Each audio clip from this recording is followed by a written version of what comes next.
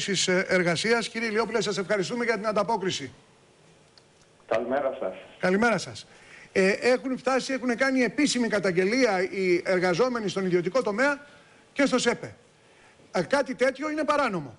Όταν μέρος των αποδοχών υποκαθίσταται από κουπόνια ή κάρτες, οι οποίες μάλιστα έχουν εκδοθεί στην Αλοδαπή, έστω και σε χώρα μέλος της Ευρωπαϊκής Ένωσης, δεν έχει σημασία στην Κύπρο. Μάλιστα, και στην Έτσι. Κύπρος. Αυτό είναι νόμιμο, κύριε Ηλιόπουλε. Επιτρέψτε μου εδώ να πω δύο πράγματα. Πρώτον, σε καμία περίπτωση δεν είναι νόμιμο. Μάλιστα.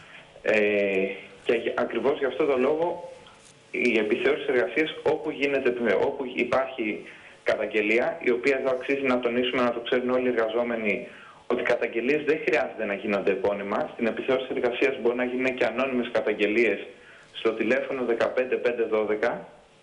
Και το λέω αυτό γιατί είναι πάρα πολύ σημαντικό. Ξέρετε κι εσείς ότι οι εργαζόμενοι πάρα πολλές Βεβαίως. φορές. Πάντως εδώ έχουμε τον πρόεδρο της Ομοσπονδίας, έχουμε τον πρόεδρο της Ομοσπονδίας, ο οποίος μάλιστα εμφανιζόμενος εδώ το καταγγέλει. Ναι, το γνωρίζω, το γνωρίζω. Η καταγγελία έχει έρθει ήδη σε εμάς και λέω το εξής: Ότι όπου γίνεται καταγγελία θα γίνεται έλεγχος και όπου βεβαιώνεται παραβάσεις. Πάντως έχει υπόσταση, έχει υπόσταση η καταγγελία. Προφανώς, το γνωρίζω πάρα πολύ καλά. Το δεύτερο πράγμα που θέλω να τονίσω, πέρα από το γεγονός ότι καλούμε τους εργαζόμενους σε όλες αυτές τις παράνομες πρακτικές να τις καταγγέλνουν, να βγαίνουν μπροστά και να καταγγέλνουν στο 15512, που δεν χρειάζεται να είναι επώνυμη καταγγελία, το τονίζω αυτό. Το δεύτερο πράγμα είναι ότι αποτελεί και αυτή, ε, και αυτή η παρανομία για την οποία συζητάμε άλλο ένα κρίκο στην αλυσίδα της εργοδοτικής αυθαιρεσίας που έχει ανθίσει τα τελευταία χρόνια και δείχνει πόσο κρίσιμη είναι η συζήτηση που διεξάγεται αυτή Να τη στιγμή ρωτήσω για την κάτι, επαναφορά των να, να συλλογικών ρωτήσω συμβάσεων. κάτι κύριε Ηλιόπουλε. Εάν εμένα ο μισθός μου...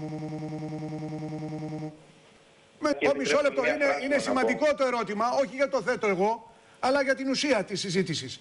Είναι 700 ευρώ. Οι παροχές σε είδος, τα κουπόνια